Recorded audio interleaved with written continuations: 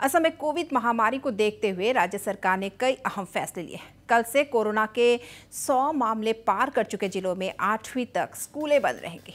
इन जिलों में अब केवल नौवीं, दसवीं और कॉलेज में 50 फ़ीसदी विद्यार्थियों की उपस्थिति में ऑफलाइन पढ़ाई होगी।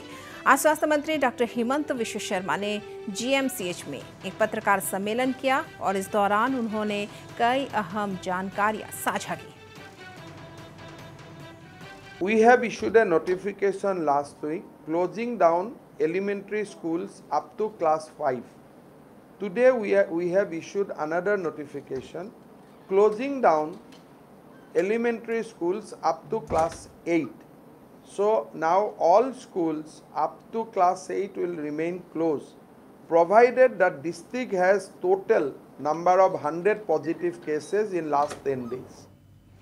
उन्होंने बताया कि फिलहाल राज्य में पच्चीस हजार रेमडेसिविर इंजेक्शन हैं पहले से करीब तेरह हजार इंजेक्शन स्टॉक में थी वहीं पिछले दो दिनों में लगभग इतने ही इंजेक्शन खरीदे गए हैं वहीं उन्होंने बताया कि निजी अस्पतालों में इलाज करा रहे मरीजों को भी वैध कागजात दिखाने पर इंजेक्शन दिए जाएंगे অসমত যোৱা দুদিনত আমি টোটেল বাৰ হাজাৰ নতুন ৰেমডিচিভিৰ ইনজেকশ্যন চৰকাৰে কিনিব পাৰিছে আগতে আমাৰ হাতত বাৰ তেৰ হাজাৰ ষ্টক আছিলে।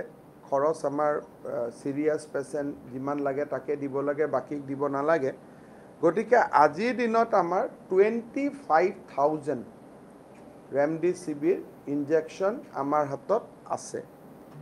আজিৰ পৰা আমি এটা নতুন স্কিম এনাউন্স কৰিছোঁ। সেইটো হ'ল গুৱাহাটীত নাৰ্ছিং হোমসকলে ৰেমডিচিভিৰ ইনজেকশ্যন বিচাৰি পোৱা নাই। এতিয়া আমি নাৰ্ছিং হোমৰ মালিকসকলক কৈছোঁ ৰেমডিচিভিৰ লাগিলে আপোনালোকে জি এম চি এইচৰ পৰা লৈ যাওক। কিন্তু কণ্ডিশ্যন এটা পাব্লিকক আপোনালোকে ইমানেই চাৰ্জ কৰিব পাৰিব fourteen hundred plus G S T তাৰমানে পোন্ধৰশ পঞ্চাছ। সেইকাৰণে আমি কোনোবা যদি নাৰ্ছিং হোমত পেচেণ্ট আছে পেচেণ্ট থকা প্ৰমাণ যদি লৈ আহে পেচেণ্টজনৰ নামৰ বিপৰীতে আমি জি এম চি এইচৰ পৰা ৰেমডিচিভিৰ তেওঁলোকক আমি দি দিম। কিন্তু কণ্ডিশ্যন এটা হ'ব যে পেচেণ্টজনো লগত আহিব লাগিব গাৰ্জেন যাতে নাৰ্ছিং হোমে এইটো লৈ গৈ পাঁচ ছয় হাজাৰ টকা ল'ব নোৱাৰে। তেওঁলোকে নিজে যোগাৰ কৰিলে যি লৈ লওক কিন্তু চৰকাৰী হস্পিটেলৰ পৰা মেডিকেলৰ পৰা যিটো ল'ব সেইটো এট আৱাৰ প্ৰকিউৰমেণ্ট প্ৰাইচ ল'ব লাগিব নহ'লে আমি বিপদত পৰিম। গতিকে কোনোবা যদি গুৱাহাটীত নাৰ্ছিং হোমত পেচেণ্ট আছে ৰেমডিচিভিৰ যোগাৰ কৰিব পৰা নাই নাৰ্ছিং হোমত থকা প্ৰমাণেৰে সৈতে গুৱাহাটী মেডিকেল কলেজত আহিলে আমাৰ ছুপাৰিণ্টেণ্ডেণ্ট ইয়াৰ পৰা ৰেমডিচিভিৰ দিব। আমি নাৰ্ছিং হোমৰ কাৰণে two thousand five hundred piece আমি একাষৰীয়াকৈ ৰাখিছোঁ। We have reviewed our oxygen position As of Assam, state of Assam is consuming 20 metric ton of oxygen per day. During the effort of last 10 days, where we have rejuvenated some of our old oxygen plant and also established PESO plant in different medical college and civil hospital, total our oxygen generation capacity has been now increased up to 61 metric ton per day against the daily requirement of 20 metric ton per day as of now. We have also enhanced our oxygen storage capacity to 468 metric ton.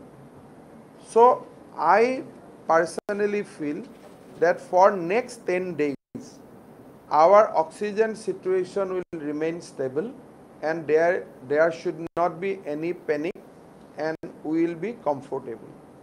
In next week, we are going to start another three small oxygen plant in three different hospital in Assam.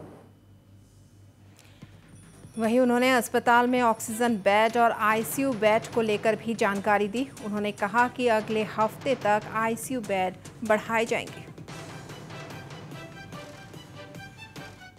আৰু I C ইউৰ যিটো position সেইটো আমি থাৰ্টিনৰ পৰা বৰ্তমান আমি I C U bed বিৰান্নব্বৈলৈকে লৈ যাব পাৰিছোঁ ইন গুৱাহাটী মেডিকেল কলেজ তেৰৰ পৰা বিৰান্নব্বৈ। তাৰমানে যোৱা দহটা দিনৰ আমাৰ যিটো প্ৰচেষ্টা সেই প্ৰচেষ্টাই অলপ হ'লেও ৰং আনিছে যে আজিৰ দিনত আমাৰ I C U capacity ninety টুলৈকে Guwahati medical কলেজত বাঢ়িছে। ঠিক সমান্তৰালভাৱে গুৱাহাটীত আমাৰ আই চি ইউৰ সংখ্যা অতিৰিক্ত কৰি চৌব্বিছখন মহেন্দ্ৰ মোহন চৌধুৰী হস্পিটালত আৰু কালাপাহাৰত আমাৰ আঠত্ৰিছখন। এইখিনি আমাৰ in addition to ninety two in G M C twenty four আৰু thirty eight plus ninety two. Total কিমান হ'ল? আজিৰ দিনত আমাৰ এশ পঞ্চাছখন আই চি ইউ আমি পাবলৈ সক্ষম হ'লোঁ এই তিনিওখন হস্পিটেলত মিলি। আৰু আজিৰ দিনত আই চি ইউত আছে বাৱন্নজন patient against our capacity of one fifty আমাৰ হাতত fifty two I C U patient আজিৰ দিনত আছে। তাৰমানে এশখন আই চি ইউ বেড প্ৰায় আজিৰ দিনত আমাৰ হাতত খালী হৈ আছে। সমান্তৰালভাৱে মহেন্দ্ৰ শিলচৰ মেডিকেল কলেজ আৰু যোৰহাট মেডিকেল কলেজতো আই চি ইউৰ এক্সপানশ্যনৰ কাম চলি আছে। অহা সপ্তাহত সমগ্ৰ অসমতে আই চি ইউৰ সংখ্যা আৰু বৃদ্ধি পাব। শিলচৰত ষাঠিটাৰ সংযোজন হ'ব আৰু যোৰহাটতো মোৰ যিমান দূৰ বিশ্বাস চল্লিছটা আৰু নতুন আই চি ইউ পাম।